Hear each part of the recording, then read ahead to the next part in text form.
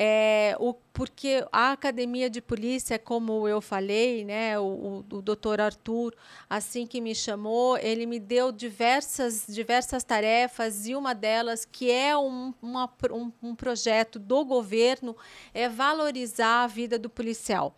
Então, é, o nosso atual delegado-geral ele entende que nós, policiais, precisamos dessa, desse carinho ao nosso policial. E aí, então, é, foi solicitado à Academia de Polícia para que nós promovêssemos aqui aí alguns projetos. Entre esses projetos, eu vou destacar o que o próprio doutor Ronaldo ele é o coordenador do projeto que é, é, o projeto que vai aí cuidar da parte dos nossos policiais que estão dependentes químicos ou alcoólicos. Então, nós estamos aí trabalhando em cima disso para a gente acolher essas pessoas, para a gente ver o que pode fazer, até na parte funcional, na parte médica, enfim. Então, isso é um projeto aí que, em, onde o Dr. Ronaldo está à frente, junto à Academia de Polícia. Nós temos temos também um segundo projeto, que é a valorização da vida para a prevenção ao suicídio. Então, é um, é um, problema muito sério que os nós policiais nós enfrentamos. Nós, lamentavelmente, se nós perguntássemos aqui é, nessa sala que nós, nós estamos, se alguém de nós conhece algum ou já teve algum amigo que que cometeu o suicídio, todos nós, lamentavelmente e né? infelizmente, nós vamos falar que sim. Então, nós também vamos aí, faz, estamos com um projeto, está sendo desenvolvido, esse aí está à frente, é o Dr. Covino, que é o diretor do Denterum, é, para que a gente possa dar mecanismos para dar um suporte para todos esses policiais. É, nós também temos um projeto é, relacionado aí a um plano pós-carreira. É, existe um projeto de lei onde vai até antecipar um pouquinho aí a aposentadoria de alguns policiais. Esse projeto está em, em andamento, mas o, a nossa direção, né, os nossos superiores hierárquicos, eles também pensaram nisso porque muitas pessoas é, daqui três, quatro anos eles já vão aí, em virtude de lei, estar aposentado.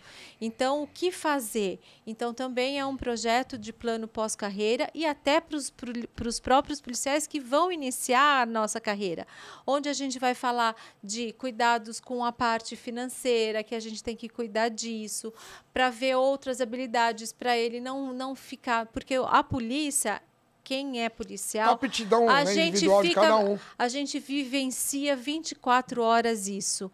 E aí, do nada, a gente, nós estarmos aí sem essa vivência policial, sem esse dinamismo que é a nossa vida, sem essa parte toda.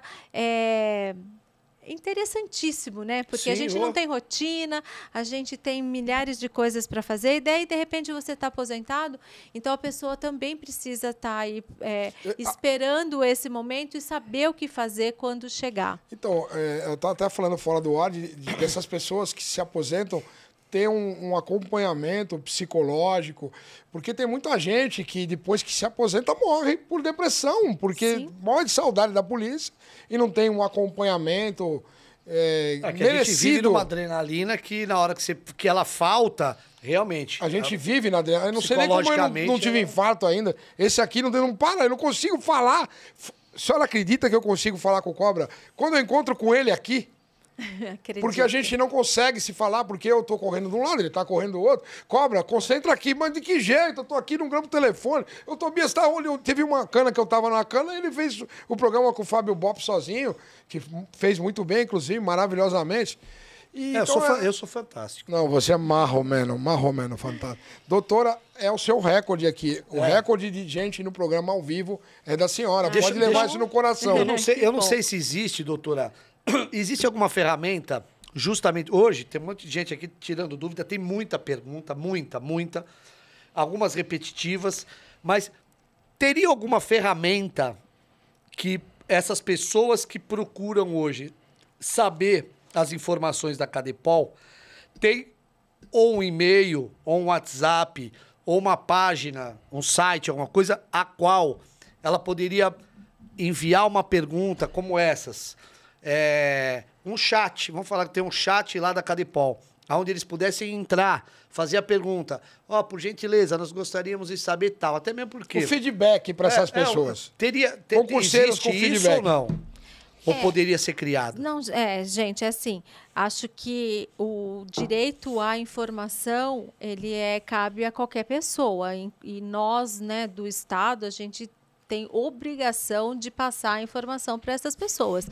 Então, nós temos ali a Secretaria de Concursos Públicos e mesmo a própria Academia de Polícia, que quem quiser mandar o e-mail, acadepol.com.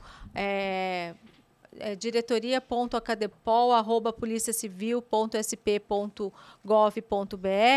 é o endereço, pode fazer a pergunta que for, que com certeza será respondida. Ah, legal, legal.